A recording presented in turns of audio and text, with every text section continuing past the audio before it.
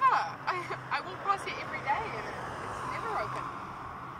I've always been curious what's in there. Let's check it out. It's just a door, Holly. yeah, but it, it's always shut. Now it's open. Surely you're curious. No, not really. Oh, come but on.